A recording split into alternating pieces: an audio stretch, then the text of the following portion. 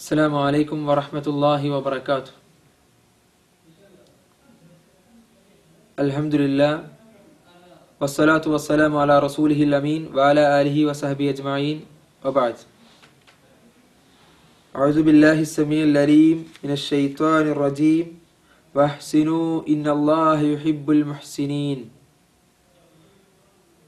സ്നേഹാദരനരായ സത്യവിശ്വാസി വിശ്വാസിനികളെ ശബ്ദം ശ്രവിച്ചുകൊണ്ടിരിക്കുന്ന സഹോദരി സഹോദരങ്ങളെ.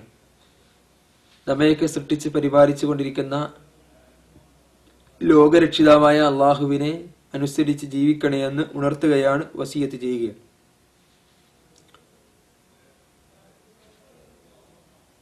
ലോകത്ത് എല്ലാ പ്രവാചകന്മാരും കടന്നു വന്നുകൊണ്ട് എല്ലാ വേദഗ്രന്ഥങ്ങളും പഠിപ്പിച്ച ഒരു മതമാകുന്നു ഇസ്ലാം.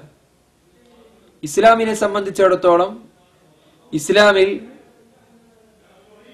ഏതെങ്കിലും കുടുംബത്തിനോ അല്ലെങ്കിൽ സാമ്പത്തികമായ അടിസ്ഥാനത്തിലോ അല്ലെങ്കിൽ വേറെ എന്തെങ്കിലും നാടിന്റെ പ്രത്യേകതയോ ഒന്നും ഒരാളെ പരിശുദ്ധനോ പവിത്രനോ ആക്കുന്നില്ല. എന്നാൽ ഇസ്ലാമിൽ ധാരാളം പദവികളും സ്ഥാനങ്ങളും റാങ്കുകളും ഇസ്ലാമിൽ കാണാൻ സാധിക്കും. ഇസ്ലാം ഓരോ മനുഷ്യനും കൊടുക്കുന്ന സ്ഥാനങ്ങൾ ഓരോ വ്യക്തി കൊടുക്കുന്ന പവിത്രതകൾ അത് ആ മനുഷ്യന്റെ പ്രവർത്തനങ്ങളുടെയും മനസ്സിന്റെയും അടിസ്ഥാനത്തിലാണ്. അങ്ങനെ ഇസ്ലാമിലെ പദവികളെ നമുക്ക് പ്രധാനമായും മൂന്നായി തിരിക്കാവുന്നതാണ്. ഒന്നാമത്തെ മർത്തബ ഇസ്ലാമിലേക്ക് കയറുന്ന ഒന്നാമത്തെ പടവ് അത് മുസ്ലിം എന്നുള്ളതാണ്. അവിടെ നിന്നും വിശ്വാസം ഉറപ്പിച്ച് വിശ്വാസം മനസ്സിൽ ഊട്ടി ഉറപ്പിച്ച് അതിലടിസ്ഥിതമായ ജീവിതം നയിക്കുന്നവനെ വിശ്വാസി മുഅ്മിൻ എന്ന് നമുക്ക് പറയാം. എന്നാൽ അതിലും മേലേക്ക് ആരാധന കർമ്മങ്ങളിൽ അതിനു മുകളിൽ നേടിയെടുക്കാവുന്ന ഒരു സ്ഥാനം പദവി എന്നുള്ളത് അത് ഇഹ്സാൻ അല്ലെങ്കിൽ മൊഹ്സിൻ എന്നുള്ളതാണ്. എന്താണ് ഇഹ്സാൻ എന്ന് മനസ്സിലാക്കി അതനുസരിച്ച് ജീവിക്കുന്നവനാണ് മൊഹ്സിൻ എന്ന് നമുക്ക് പറയാൻ സാധിക്കുന്നത്. ആരാണ് മൊഹ്സിൻ? ഇഹ്സാൻ ഉള്ളവനാണ് മൊഹ്സിൻ. എന്താണ് ഇഹ്സാൻ? റസൂൽ സല്ലാഹു അലൈ വസ്ല്ലം പറഞ്ഞു കൊടുക്കുകയാണ് മൽ ഇഹ്സാൻ. എന്താണ് ഇഹ്സാൻ എന്ന ചോദ്യത്തിന് റസൂൽഹി സല്ലാഹു അലൈ വസ്ല്ലം പറഞ്ഞു കൊടുക്കുന്ന ഒരു മറുപടിയുണ്ട്. എനിക്കും നിങ്ങൾക്കും ആ മറുപടി നമ്മുടെ ജീവിതത്തിലൂടെ സ്ഥാപിക്കാൻ തെളിയിക്കാൻ ജീവിതാനുഭവങ്ങളിലൂടെ വ്യക്തമാക്കാൻ എനിക്ക് നിങ്ങൾക്കും എപ്പോൾ സാധിക്കുന്നുവോ അപ്പോൾ നമ്മൾ മൊഹസിനുകളായി എന്നുള്ളതാണ്. ഇസ്ലാമിലെ വളരെ ഉന്നതമായ പവിത്രതമായ പദവി നേടിയെടുക്കാൻ എനിക്ക് നിങ്ങൾക്കും സാധിച്ചു എന്നുള്ളത് നമുക്ക് മനസ്സിലാക്കാവുന്നതാണ്. റസൂലി സലാഹു അലൈഹി വസ്ലം പറഞ്ഞു കൊടുക്കുകയാണ് അൽഹ്സാനു ഇഹ്സാൻ എന്നാൽ നമ്മുടെ ആരാധനകളിൽ നമ്മുടെ ഇബാദത്തുകളിൽ അതിൽ നീ അള്ളാഹുവിനെ ആരാധിക്കലാണ് നീ അവനെ കാണുന്നത് പോലെ അവൻ ആരാധിക്കലാണ്.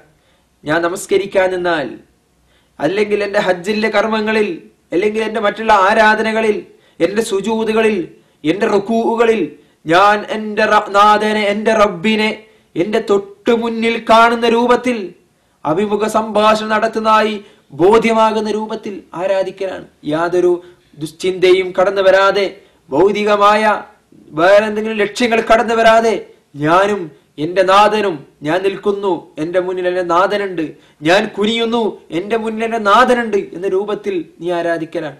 തീർന്നില്ല. ഫൈലം തകുൻ തറാഹു ഫഇന്നഹു യറാഖ്. ആ ഒരു ബോധമാണ് മനുഷ്യ സമൂഹത്തിന്റെ മനുഷ്യ മനസ്സിനെ മാറ്റാൻ കഴിയുന്ന ബോധം.